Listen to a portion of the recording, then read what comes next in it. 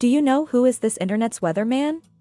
Yup, he is Ryan Hall, known as Ryan Hall, y'all, is an American YouTuber, TikToker, and an internet personality.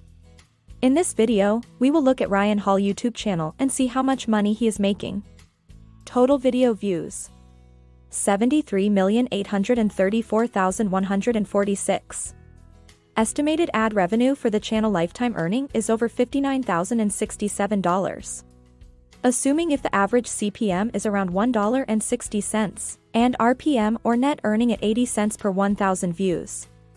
Now as for his monthly income, according to Social Blade website, it is around $1,900 to $29,900 per month. And Ryan Hall most viewed video, here's how bad this winter will actually be, is probably making over $2,720.